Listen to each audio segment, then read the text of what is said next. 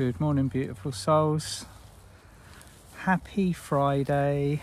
It's week 46 of the Woodland Chronicles, and uh, it's a very beautiful, crispy morning. It has now got to the time of year where it is definitely full thermal season. It's a couple of degrees above freezing.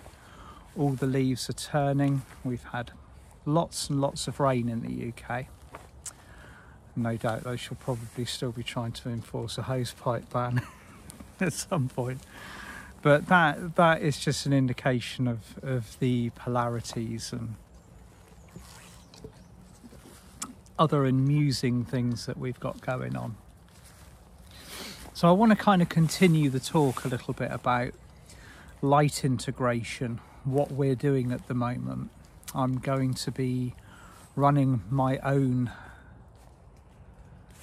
one hour workshop on the 30th November of November looking at how to assist us with integrating the light and this will be based on my own personal experience as well as well as kind of an assessment of the field which is basically the stories and the communications that I receive and I I hear from you lovely souls. And um,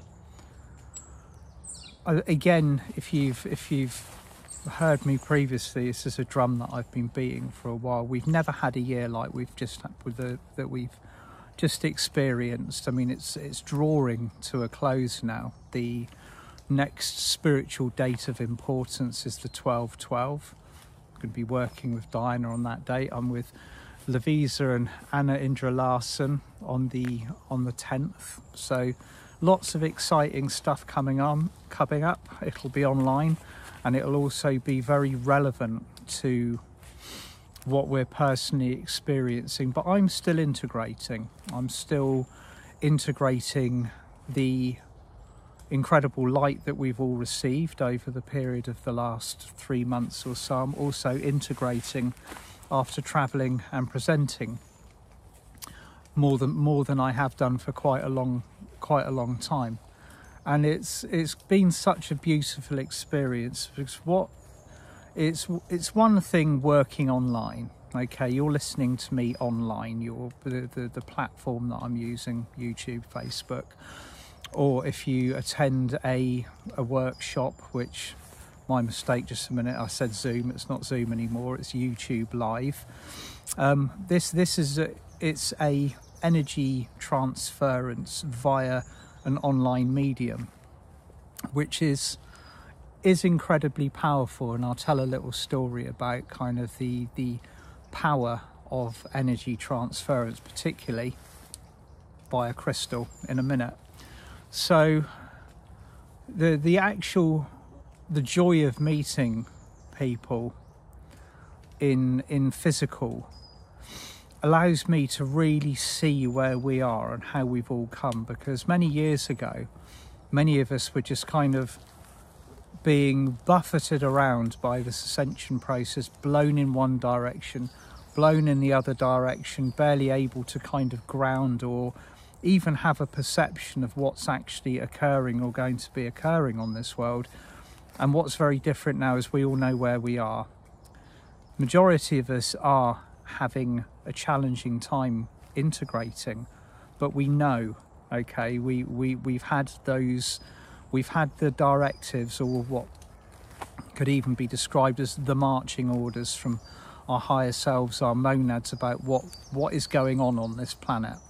And we've all got a target now, okay, whereas previously it was like, hey, the vibration's rising, what's happening? It's, it's great oh, there's another Stargate or another portal or another archangel energy connecting with Earth. Now we all know that there's a purpose. We've got another nine years to see the expanse of this change on our world before we move into the target date of 2032, which ultimately sees the completion of the shift from 3D to 5D.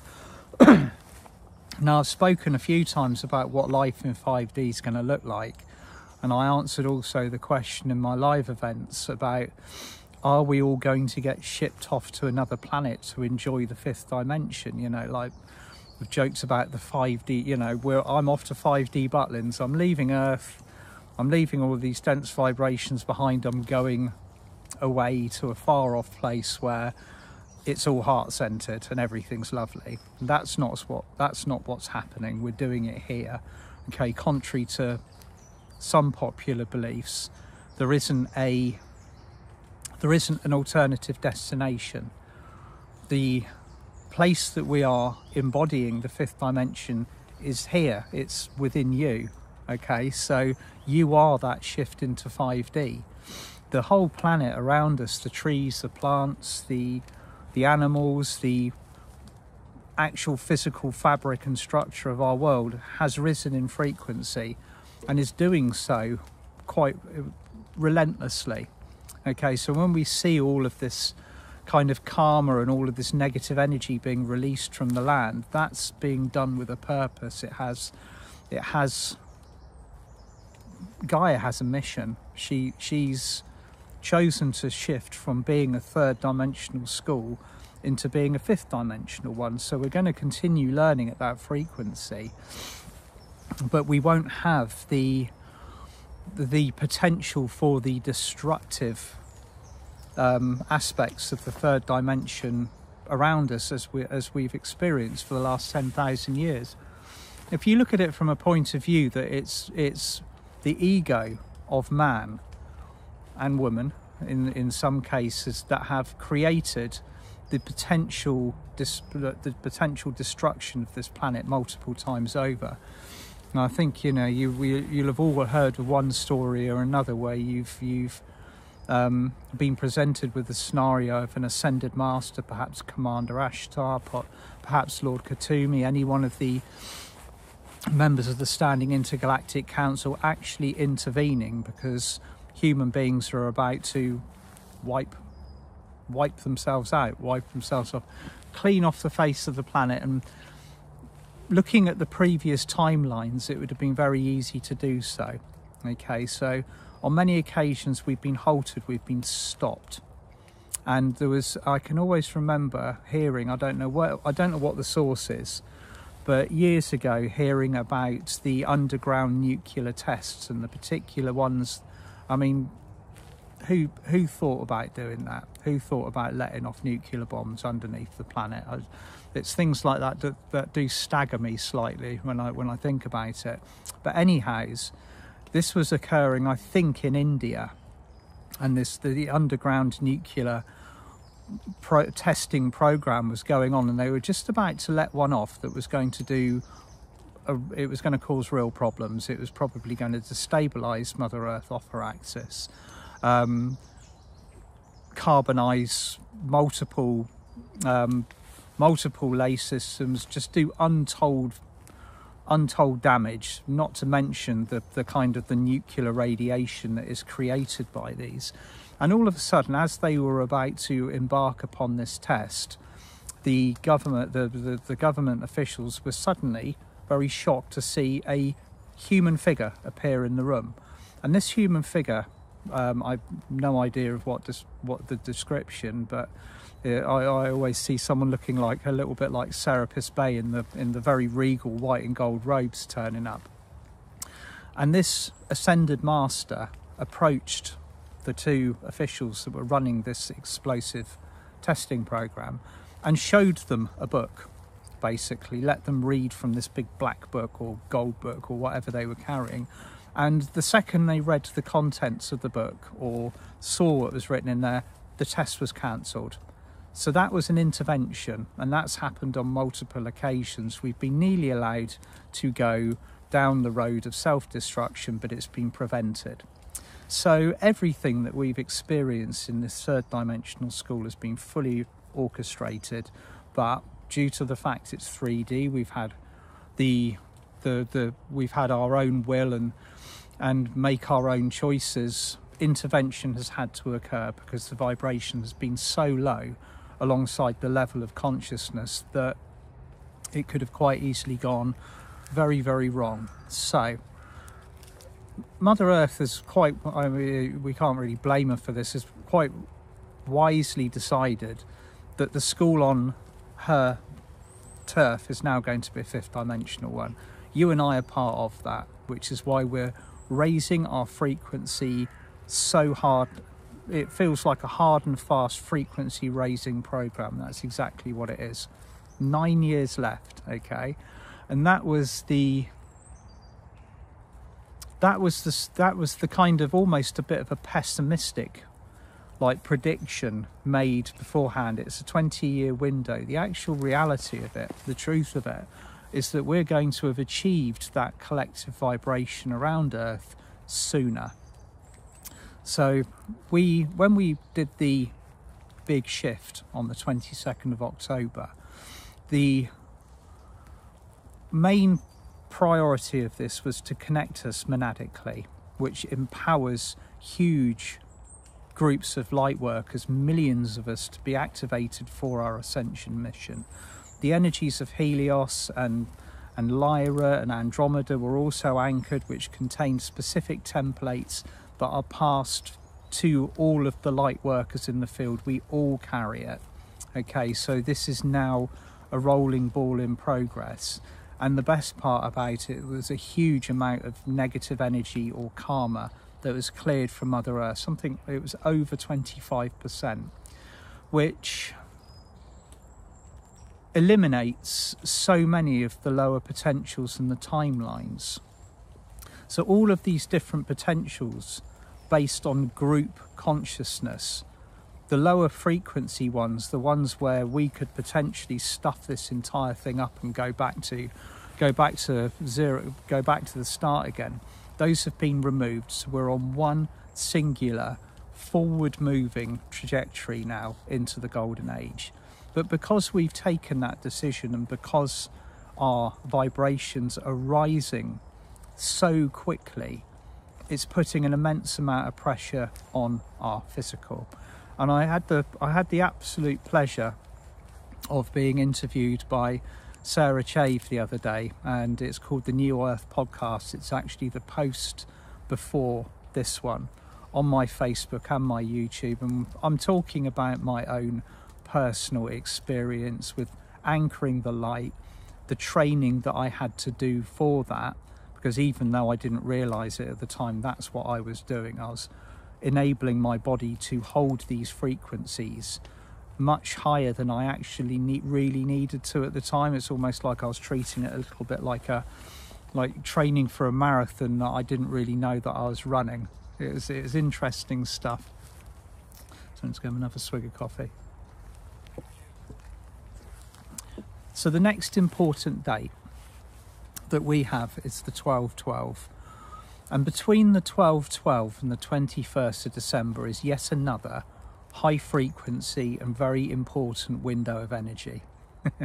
so, what are we going to be doing if we're already integrating what we've already received? How do we go about doing this? Because this doesn't just affect it doesn't affect kind of the the more the newbies on the light path it, it, it involves all of us collectively as a unified light field to be holding and stabilizing this for ourselves and for one another. And I was reminded at the beginning of the year the shift in functionality of the the members of the Golden Robe. I don't know if you remember that far back, but many of us, myself included, used to be members of the the primary um, um Order of the Golden Robe, Brotherhood of the Golden Robe, and that obviously Brotherhood's just uh, it include, includes many many divine feminine souls as well. Whereas the Golden Robe was donned prior to the incarnation to assist with alchemizing the pain of the world. Now, in in in all circumstances, that usually involves taking that pain on. It can be taken on karmically, it can be taken on physically, it can be taken on structurally, so you have extra super duper challenging conditions to work through in order to alchemize this pain. And of course, there's been a huge amount of pain on planet Earth, over particularly in the last 10,000 years. It's be it's it really has been um, quite exceptional. So, in January, we looked at like almost like a changing of roles And those that still wish to participate in being members of the Golden Robe donned a robe of different frequency, and that frequency was was instigated as a support unit for all of the light workers here. So instead of us just having our individual vibration to consider, we are part of a collective support unit. Now, many of us gratefully and very rapidly took the opportunity to hang the golden robe up and were commended for the years of extremely um, intensive service that wearing the, the primary robe actually involved. I mean, it was hard work. And so the new golden robe involves being able to hold higher frequencies of light state in a, in a stable form meaning that yes, you can really feel that light. It might create physical symptoms within you, might be triggering the nervous system, you might be having to do extra clearing within the emotional and the mental bodies, but ultimately you can sustain that vibration, even if it means that you have to make cutbacks or changes to the way that you operate. And this has been very much my experience, and that's what I was talking about during the podcast is how that particular day, the 22nd of October, affected me and how I was shown my body doing what it could, doing everything that it could to hold that light. But even even with all of the focus and the training and the I have been pretty disciplined, but there's also aspects of me that have been very kind of um, slack in my application. I'm, I'm always the first to admit that. Um, I was shown very clearly the areas of my body that needed to be attended to. And of course, as many many of us have experienced over the years, sacral.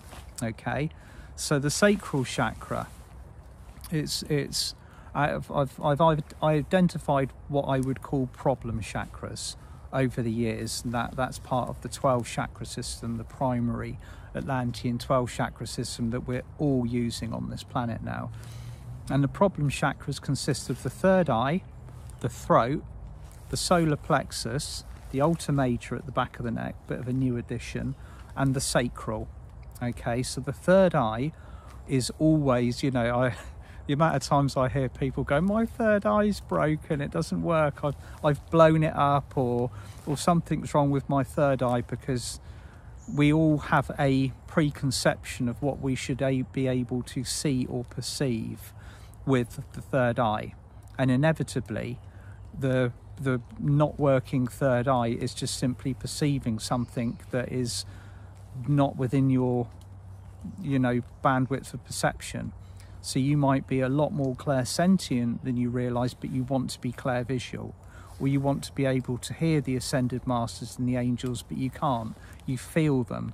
So, in many times, we're expecting the third eye to do a job that it's actually not geared up to do. That, however, will change and balance out in the future so that we have a nice range of sensory balances. But ultimately, at this moment in time, the third eye will be kitted up to do the job that you are most suited to do. And the throat, we all know what's been going on with the throat. We've been releasing the Atlantean collar, and there has been so many layers of that coming off. And finally, the, the main bulk of that was released at the Lion's Gate this year with the opening also of the higher heart. But there's still all of the kind of the shadow, almost what you see like the shadow of the collar that's been left within the throat and we're still clearing that and probably will be for some time. The alta major, lots of us are talking about the the kind of the almost the pain of the alta major at the back of the neck. It used to plug us into three into the third dimension like a, a cord or a cable, just like the one that you saw in the Matrix when Neo kind of woke up and he's he's in that embryonic state attached to this machine. The solar plexus, many of us say that the solar plexus is it's almost a little bit it can be a little bit treacherous by picking up energies that we don't want when in actual fact it's down to our ability to program our solar plexus with what we want it to receive. So we tell the solar plexus what it's looking for because it sends out all of these pulses of it photographs our solar plexus photographs our surroundings and comes back with a report for us on what what it's expecting us to need to hear from it so the solar plexus has been geared up for keeping us safe you know looking for dangers so it picks up all of the little microbyte sizes of information about frequencies that are a mismatch for ours and reports back to it. And very recently, our solar plexus has been becoming completely overloaded with frequencies that we don't want. So the trick is to reprogram the solar plexus to look for love. And if you, I'm, I'm going to include the link from Fear to Love, which is a previous video I've done to reset the solar plexus.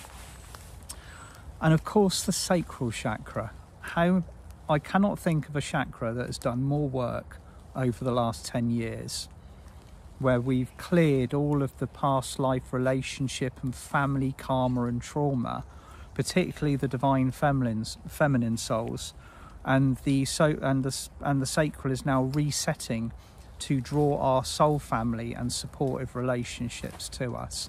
So that those are the ones that are really kicking off at the moment because of this incredible light that's been coming in. And there's information on my website on how to work with it, and I'll also be looking at that very, very intensely on the workshop that I'm running on the 30th of November. So that is where we are at the moment. It's kind of an energy, you know, the, an update about what is happening with our receptivity with our energy, with our nervous system at the moment. If your nervous system is lit up and asking you for assistance, step back and employ whatever you can to give yourself self love. Okay, we're going to be looking at self love very deeply for as long as it takes for us to actually learn how to love ourselves. Because if we can't love ourselves, how can we be expected to love others? Okay, as within, so without. It's the first point, it's the first port of call when we're learning to be masters in physical. So, on the subject of love, sending you all love from my heart to yours, and I'll see you on Monday for a meditation. Bye for now.